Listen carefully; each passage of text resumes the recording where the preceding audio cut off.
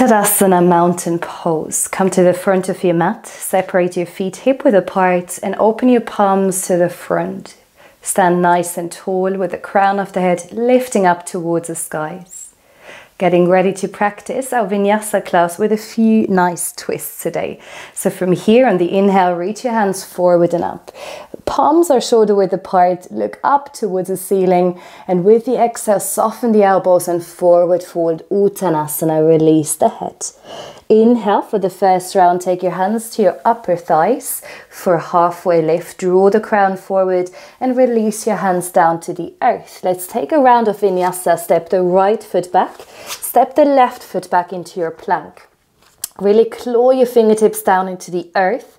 Shift forward onto your toes and then drop the knees down. Tuck your elbows into the sides and all the way lower, all the way forward and down.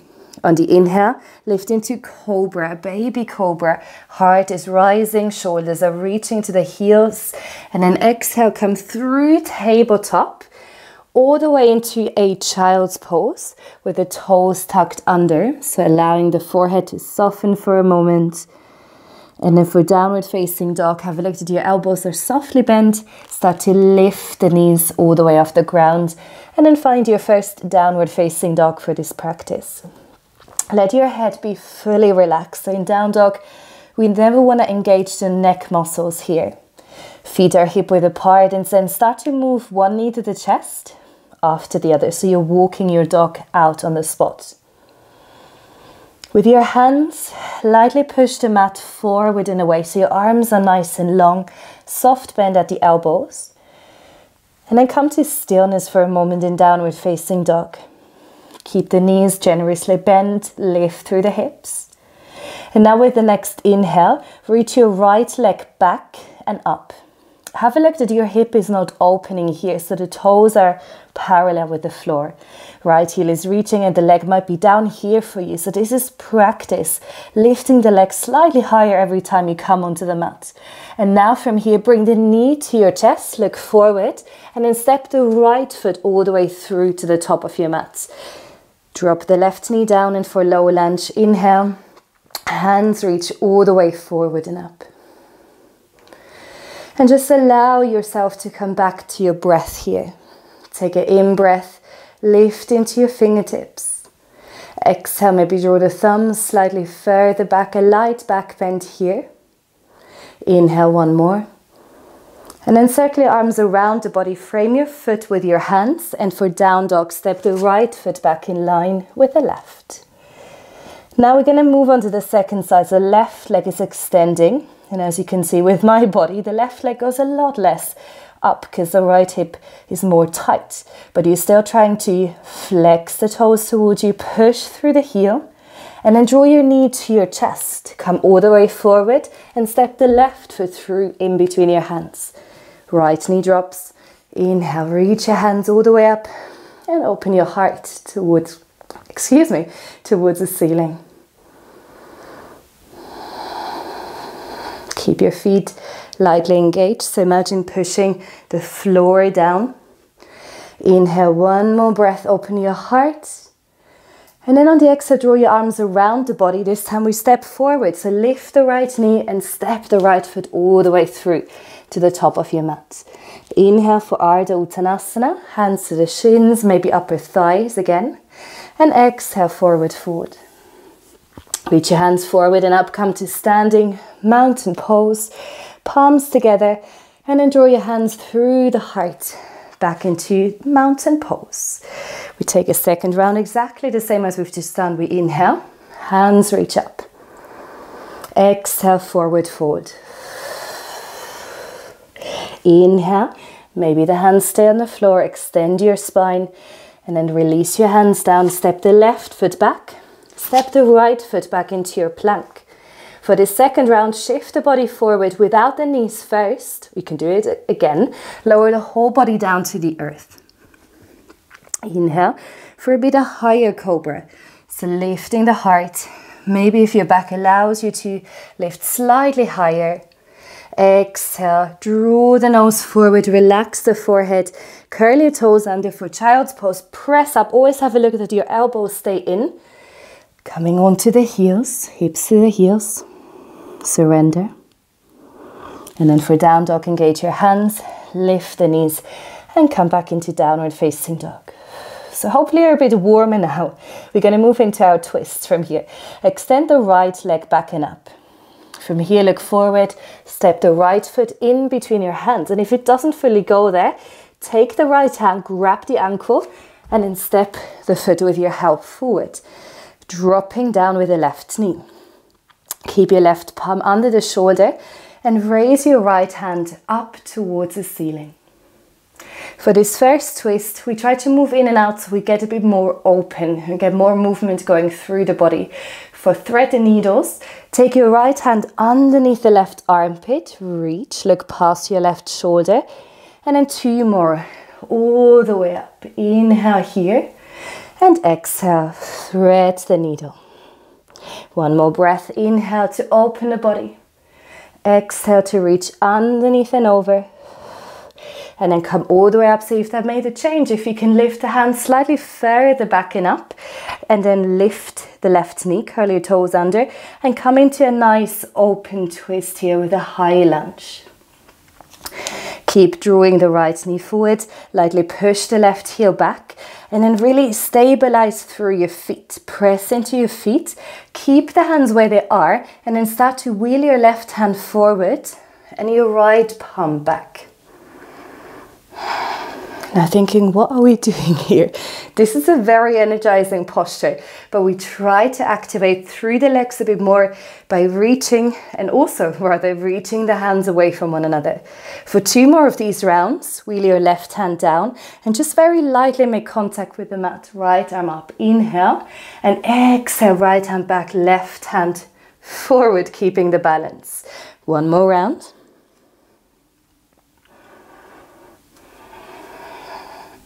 And then for downward facing dog, release your hands to the floor.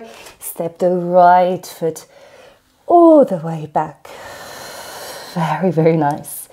Now let's see how this all works on the other side. Left leg moves back and up. Push through the heel, flex the toes toward you, and then step the left foot forward in between the hands. Dropping down with the right knee first for low lunge, right hand under the shoulder. Have a look here that your right elbow is bent so the bony bit moves out to the side.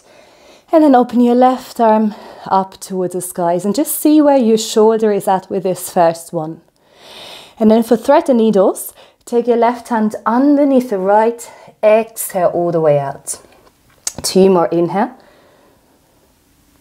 and exhale. One more round, inhale to open the body. Exhale to reach. Very, very nice. And then keep lifted in your low lunge with a twist. Curl your right toes under and lift into a high lunge twist. and as you lift here, have a look that your hips are lifting high. So the knee, the front knee is in line with your hip or with your glutes. And now let's see for the second side, become light on the right hand and then slowly with your balance, lift your arms. So you're getting a quite big twist. But if your body is here, that's great as well. So it doesn't matter how far you're twisting to the side, but reach your hands away from one another. For two more rounds, release your right hand down, left arm up. Maybe look to your thumb. And then come all the way up to standing. One more round. Inhale. Exhale here. And then inhale all the way up Exhale, hold it for a moment, reach, reach, reach. Very nice. And then for down dog, release the hands and step the left foot back in line with the right. Let's come into our vinyasa again, shifting forward into plank, shoulders over the wrists. Drop the knees or without dropping them, lower down to the earth. Inhale for baby cobra. If you feel like up dog, lift the knees, come into more of a back bend and then lift at the hips, downward facing dog. From here, walk your hands to your feet. Come all the way towards the back of your mat. And then inhale again, lift the body halfway, Ardha Uttanasana. Exhale, forward fold, Uttanasana, relax the head.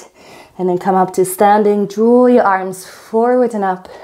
Inhale and exhale to release. And you can hear how I'm breathing. So this is not easy, but it's really good to strengthen the body and at the same time really draw and connect to that deep belly breath. We finish with a balancing posture today. So the left foot stays on the ground, left knee bent, and then lift your right foot.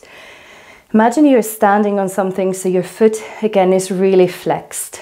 And then take your left hand onto the knee and extend your right palm back. I'm probably going to show you this way. So the right hand is back. Think of this high lunge that we've just done and notice if your knee is still in line with your hip. Option staying here. To make it more challenging, turn your head and look toward your left thumb. Another option to make it a bit more challenging maybe, grab your big toe with your peace fingers, so index finger and middle finger, and then lift your upper body and extend your left leg all the way forward and through. Your right leg, I think I said to you the right leg as I mirror you. Take one more inhale here, lift, lift, lift. Beautiful work, and then as slow as you can, release and come all the way back. Let's move on to the other side. Shift away into your right foot. Lift the left leg, hands onto the hips. And this is already your balance, or if you don't feel like you can balance here physically today, just drop your toes down and stay there. Otherwise, from here, bring your opposite hand to your knee. Extend your other arm back for you, the left arm. And then again, you choose to stay here in a very upright standing position, or you might look towards the right hand choose to do that. So choose to hook your fingers around your big toe and then extend your leg forward or half extended. You can stay here. Wherever you are, wobbling or feeling quite stable today, feel your whole body in this balancing posture. Take one more inhale. You're almost there. One more exhale. Beautiful, beautiful work. And then slowly, slowly release.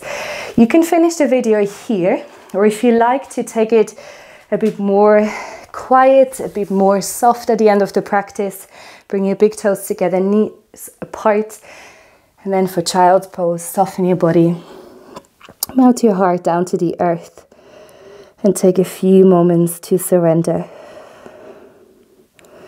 Beautiful job, everyone. Thank you so much for practicing. Have a wonderful day from my heart to yours. Namaste.